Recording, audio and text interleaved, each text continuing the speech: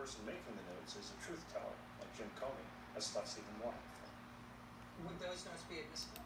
The notes themselves probably aren't admissible, but um, if a witness forgets something while testifying, you can use anything to refresh your recollection. And so notes could be used in that way.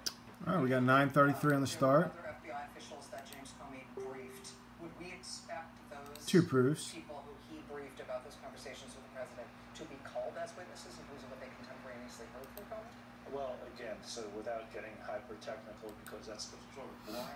Um, All right, 1 through 25. There are exceptions to the hearsay rule that might permit it, but they might also have independent knowledge. And so, yes, possibly, uh, if they were part of a conversation, uh, they could be called as There we go. Chuck Rosenberg is our guest. 19 takes it down. Staff to James Comey, former counsel to Robert Mueller, former U.S. Attorney administration last month. Will you stick with us? I would be delighted.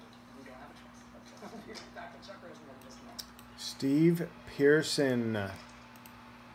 Looks like Steve didn't have too many tickets. Everybody else did. Nice win for Steve. Sorry, everybody else. I can't believe you got us tickets. I did. I didn't pay for anything. Have a good one. 934. Said